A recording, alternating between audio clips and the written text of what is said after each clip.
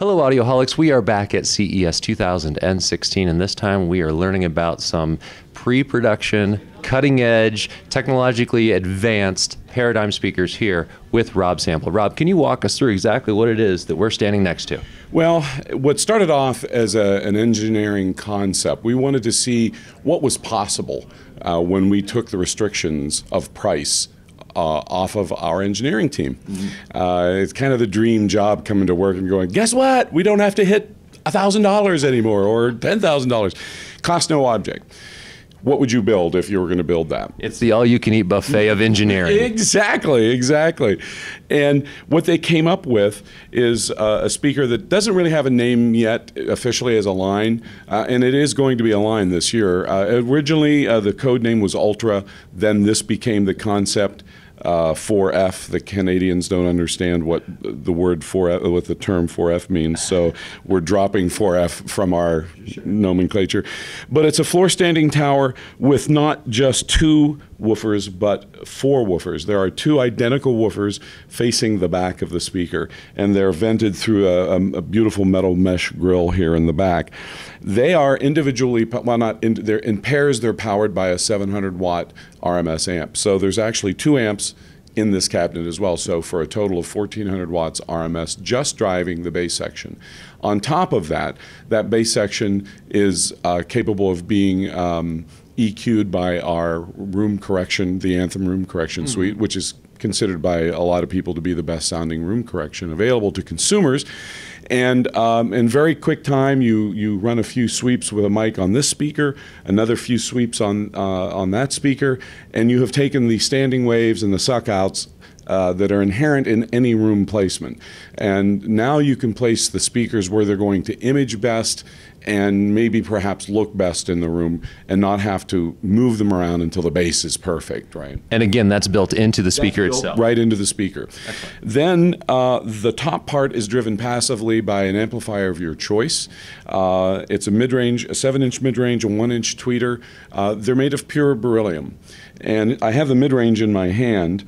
Um, this is the only speaker that we're aware of under $200,000 a pair that uses a pure beryllium midrange. It's very expensive proposition. It's almost impossible to work with. It's it's uh, very hard to form and and create the kind of driver you want. Uh, we've taken a number of new steps with this. The the biggest one being we're using an inverse differential drive of our design. What that means is in the woofer. Let me just go back a little bit and I'll show you the woofer. This thing's a beast. This is a, a, new version of the Seismic 110 woofer. It's a super long excursion. It's kind of hard to see, but there's voice coil sticking out the back, voice coil in the front. Uh, there's actually two voice coils in here. One is out of phase with the other. It's called a dual differential drive. Uh, excuse me, a differential drive. Um, it ensures that with this patented long excursion woofer that there's always voice coil in the gap and um, it lowers the distortion in, in its by being out of phase. Here in the mid range, we couldn't uh, have two voice coils, so they flipped the phase on one of the magnets to accomplish the same type of low distortion. So the combination of the super high damping, low distortion woofer, or excuse me, cone that we're using in the mid range, uh, and the uh, the new voice coil uh, assembly combined with the beryllium tweeter makes for an extremely low distortion speaker. When you get rid of coloration and distortion, you increase transparency, you increase um, the ability to recreate sound stages and to recreate real voices realistically. And that's what we were after here, kind of that, that idealistic uh, goal of utmost transparency, and that's what we have here. Sure, and we've got the certainly a curved cabinet, which is all the rage, helps with the internal standing waves. Uh, now, is this I'm assuming is not only decorative, not only a protective grill, but also serves some waveguide functions. That's exactly right. Um, it started with the um, uh, the Prestige series, which is our uh, you know luxury performance line uh, that goes up to about five thousand dollars a pair. Uh, we call it the PPA, the uh, perforated phase line tweeter lens. And it serves the function, first of all, of being a phase plug. There's a solid dot in the center. And what it does is it, it stops out of phase signals from interfering with each other here in the room. Getting that destructive interference. That's exactly right. It's counterintuitive to even the most, uh, the smartest of, of people out there. We actually have more output in front of this tweeter than we do without that lens in place uh, because we're, we're stopping the, the destructive uh, out of phase information. And we've continued that into the mid range. Now, the mid range, it's not quite as critical, but we still found improvements with that as well. Excellent. So now I'm going to ask you to spill the real beans. Availability, pricing, read the tea leaves. What are we looking at? It's going to be a tea leaf uh, reading. The uh, the production department is more optimistic than we are, and uh, uh, we're saying certainly by the end of the year, and we're really shooting for for earlier than that. But they will be available this year.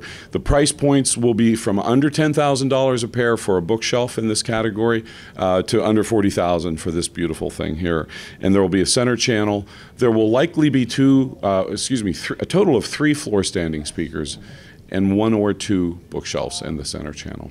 So this is a little bit of a new era for a paradigm. It's a new era, it's a new territory, and I mean, in terms of capability, there is no other speaker company in the world really that has as much capability as we have, or uh, let me put it this way, more capability than we have.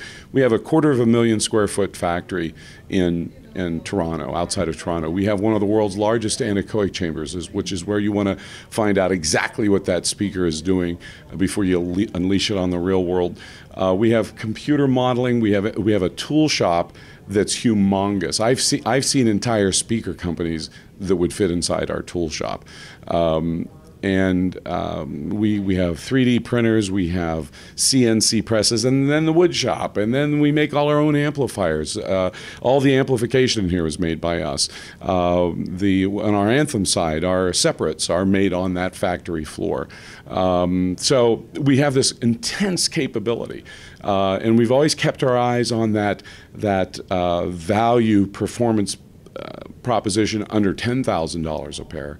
And now we want to go after cost no object. What this is going to compete with, Marshall, are speakers much, much larger. This bass section uh, in this room, ARC was telling us that it was going down to 16 hertz and very, very loudly. And what this will compete with are large scale, big, expensive speakers in the $200,000 range um, that have like massive 15s and big boxes and multiple arrays of drivers and stuff like that. And I heard plans for custom colors as well. Yeah, I mean, that's going to, you know, we have this wood shop now, and, and it'll be, the stock colors will be black or white. Uh, and then the plan is that with like a six to eight week lead time, you give us a paint sample or a color off a car or whatever, and we'll go. You know, you have to go back and forth and verify and stuff. But uh, once it's committed to a six to eight week lead time, we can get them in any color you want.